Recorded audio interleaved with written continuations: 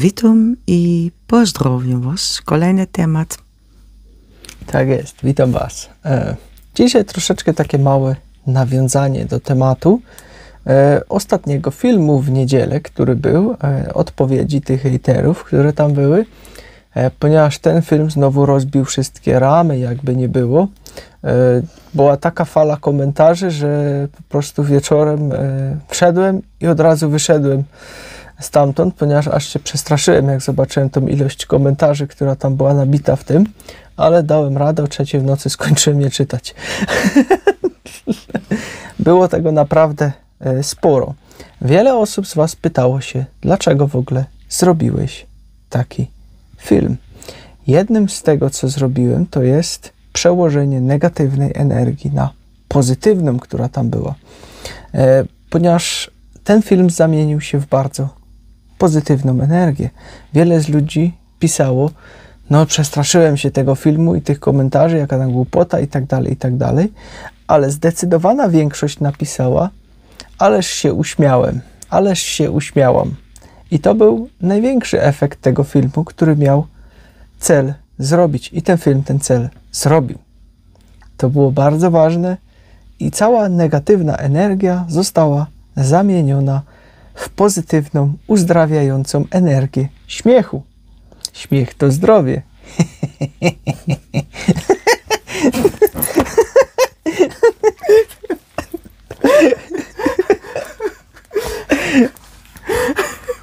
No, śmiech to zdrowie, dokładnie. Tak jak wam mówiłem.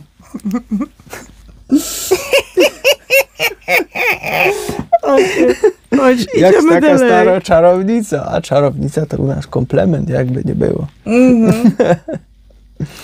To jest 100% kompliment dla nas, bo to jest prawda. I prawda mogę będę jasne, klaro, Dokładnie. sauber, ganz klar, für jeden. ale możesz to też potraktować inaczej. Dlaczego ten film w ogóle powstał? Możesz to widzieć też jako zagadkę, coś, co jest związane z naszym stylem życia i z tym, jak po prostu jemy, żyjemy, zachowujemy się. Załóżmy, że masz puzzle. Taki Od 10 tysięcy kawałki. dokładnie. I tylko dwa kawałki pasuje razem. Nie jest możliwość, e, ty zbierasz jeden kawałek od tej strony tam jeden kawałek od tej strony tam na dole i spróbuj rób ten razem. Bez Tak, bez siły nie da się tego złożyć. Niektórzy mogliby powiedzieć, ale można dociąć ten kawałek puzla i włożyć go tak, żeby pasował. Problem pojawi się w dalszej perspektywie całego obrazu, ponieważ kiedy puzzle zostanie ułożony, nagle gdzieś zostanie dziura. Z tego, co zostało wycięte, będzie to brakować. Również wzór nie będzie się zgadzał taki, jak miał być. Możesz to również porównać do takiej kostki, którą się układa. Ona ma każdy kolor z innej strony, jest inny kolor. I celem tego jest, żeby to tak ułożyć, żeby wszystkie kolory były z każdej strony. Na przykład tu czerwony, biały, niebieski, zielony, czerwony, żółty. E, Są osoby, którym udaje się to złożyć w parę minut. bardzo szybko. Są osoby, którym zajmuje to tygodnie, a są osoby, którym się nigdy nie uda tego zrobić. Wszystko jest tutaj związane, jak podejdziemy do tego tematu, z jakiej perspektywy na to popatrzymy i jak się zabierzemy do tego, żeby to wykonać. W życiu, które my prowadzimy, mamy do czynienia z siedmioma prawami uniwersalnymi. Są to prawa: prawo jedności, prawo zgodności, prawo wibracji, prawo biegunowości, prawo rytmu, prawo przyczyny i skutku, prawo dynamicznej równowagi i złotego podziału. To jest siedem praw uniwersalnych. Każdy z nas może wyszukać sobie te prawa uniwersalne i żyć zgodnie z nimi, jakby chciał. Można to znaleźć jako je do czytania czy do słuchania. Na pewno gdzieś coś ktoś o tym już zrobił. Ale fenomenem jest to, że są też ludzie, którzy robią to z intuicji, e, którzy po prostu żyją tymi prawami, a nawet nie wiedzą, że te prawa istnieją. I ci ludzie żyją zgodnie z rytmem Matki Ziemi, można powiedzieć. Porozmawiajmy sobie troszeczkę o prawie przyczyny i skutku. Przytoczmy tutaj taki przykład ogrodnictwa. Co zasiejesz, to zbierzesz. Jak to porównać do zdrowia? Porównajmy to na przykład do jedzenia. Zasieję cukier, mąkę, gluten, e, glifosat, fluor, całą paletę enumerów. To sobie zasialiśmy, zjedliśmy to. Więc oczekujmy teraz skutków, które tutaj będą, czyli zbiorów. Co zasiejesz, to zbierzesz. Co zbieramy? Zbieramy na początku różnego rodzaju symptomy, które nam organizm wysyła, a następnie zbieramy wszelakie choroby, które nasz organizm dotykają. Sami zasialiśmy, więc sami to zbierajmy teraz. To samo mamy z myślami. Jeżeli ktoś decyduje się, żeby ciągle tylko i wyłącznie myśleć o negatywnych rzeczach, koncentruje całą swoją uwagę tylko i wyłącznie na negatywne rzeczy, będzie również zbierać same negatywne rzeczy teraz. Czyli nie będzie mu się nic pozytywnego w życiu przydarzało, tylko po prostu będzie miał cały czas tak zwanego pecha. Niektórzy aż się dziwią, czemu ten człowiek ma tyle pecha, czemu spotyka go cały czas pech, pomimo że jest dobry. Ponieważ prawdopodobnie ten człowiek koncentruje się tylko i wyłącznie na negatywnych rzeczach. Przykładem może być na przykład oglądanie czy słuchanie wiadomości takich standardowych. Tam nie znajdziesz praktycznie nic pozytywnego, jest tylko i wyłącznie e, rozpacz. Niestety nad tym wszystkim sam będziesz musieć pracować.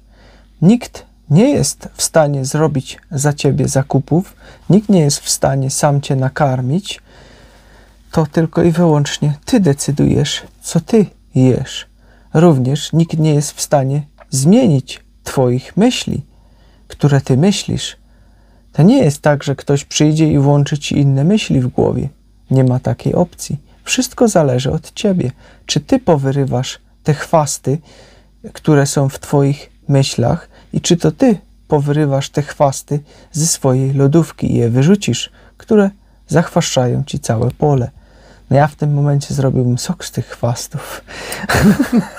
Mam tutaj na myśli zioła jadalne. Przyjrzyjmy się na przykład jakiejś rodzinie, w której cały czas występują te same symptomy i te same choroby.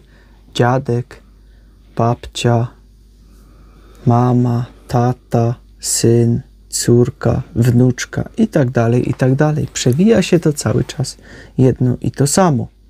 Co tutaj jest problemem?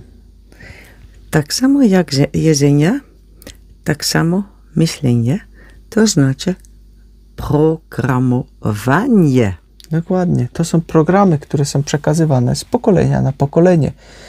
Babcia przekazała mamie, jak ona gotuje, przekazała jej również swój tok myślenia, ponieważ cały czas głośno myślała, jak to się często robi, a dziś tak, tak, narzekanie na przykład. Matka przekazała to na córkę, córka przekazała to na wnuczkę. Pojawia się cały czas jeden i ten sam program. W jedzeniu nic się nie zmienia, w myślach nic się nie zmienia. Dlatego pojawiają się cały czas te same choroby. Tylko ty sam możesz to zmienić. Nie my, ty sam. W pewnym momencie zaczynasz się zastanawiać, dlaczego znowu jem to. Przecież wiem, że to mi szkodzi. Dlaczego znowu mam takie ciemne myśli? Wiem, że to zaniża moją energię, czuję się gorzej. Dlaczego cały czas daję się prowokować przez tych samych ludzi? Coś zaczyna się zmieniać w Twoim myśleniu. Ale czy to rzeczywiście ludzie Cię prowokują, czy po prostu są to programy, które zostały Ci wszczepione już od dziecka i które ciągną się od pokoleń za Tobą? Jeżeli już odkryłeś teraz to, że to są programy, które trzeba zmienić, to w tym momencie gratulujemy Ci, ponieważ poszedłeś o jeden krok dalej w swoim rozwoju. Zauważyłeś, że coś jest nie tak. Wyłamałeś się z zębatki, która napędza cały system.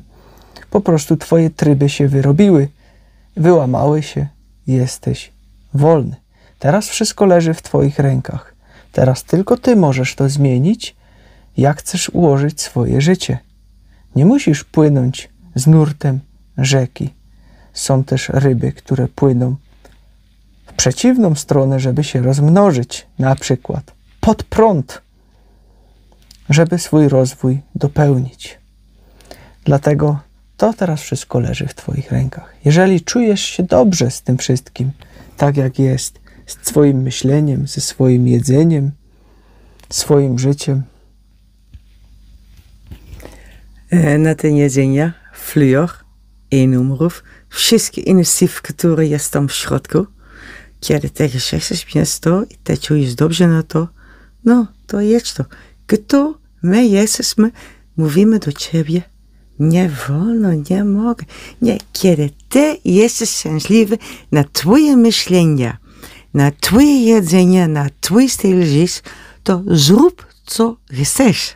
Dokładnie. My jesteśmy ostatnimi osobami, które Tobie powiedzą: zmień swoje życie. To wszystko leży w Twoich rękach. Możesz to zostawić tak, jak to jest i po prostu ciesz się życiem, które Ci jeszcze zostało i staczaj się po spirali coraz bardziej niżej.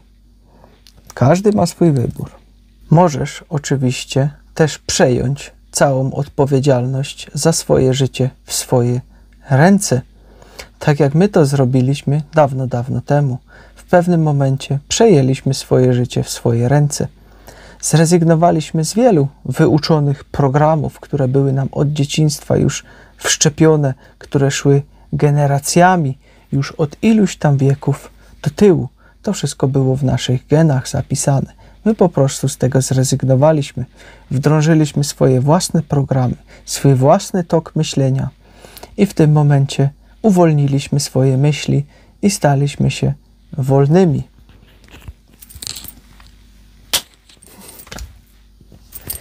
To jest właściwie początek całego epizodu, dlaczego nauczyliśmy się żyć z różnego rodzaju reakcjami innych ludzi, dlaczego potrafimy przetrawić różnego rodzaju komentarze, które na nas spadają stąd i z owąd, które nas po prostu absolutnie nie ruszają, ponieważ my weszliśmy na całkiem inny poziom, a spaść na dół można, ale ten z dołu, jeżeli jesteś wyżej, już cię za nogi nie złapie i nie będzie potrafił cię ściągnąć z powrotem na dół, ponieważ ty jesteś wyżej.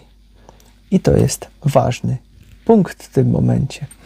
Jeżeli nie będziemy zaniżać się sami, czyli nie spadniemy na dół przez to, że wrzucimy jakieś śmieci do naszego jedzenia, czy zaśmiecimy sobie głowę jakimiś śmieciami, nie spadniemy Met het na dół, journaal bijvoorbeeld te kijken. na przykład wiadomościami z telewizji, takim ogólnym pralką mózgową, która jest wokół i pierze wszystkim mózgi. Jeżeli będziemy się tego trzymać, to będzie wszystko ok. My mamy wszystko w swoich rękach, dlatego my potrafimy zamienić negatywne komentarze w pozytywny śmiech. Bo śmiech, jak mówiłem, to zdrowie. Także tyle Tyle na na dziś. dziś. Żegnamy Was z uśmiechem, z bananową twarzą, jak, jakby to ona powiedziała. Pralko, e, pralka czy pralkowe mózgowe? Nie zapomniałam już teraz, ale nie szkodzi. Jakoś tak to było. To nie jest wasz problem, to również nie jest mój problem. Ja zbierę dziś, jak to przyjdzie. Tak jest. Także pozdrawiamy Was z uśmiechem na twarzy. Trzymajcie się, hej. Mam nadzieję, że wiecie już teraz, czemu taki film powstał i był on bardzo dużym sukcesem. Za co dziękujemy wszystkim hejterom. Również ja chcę podziękować każdej osób, naprawdę każdy, który pisał e, reakcje. Naprawdę. Też dziękuję wam wszystkich, które ogląd, die de film hebben. którzy zobaczyli po prostu ten film. Także trzymajcie się, hej. Dan is het nego razu.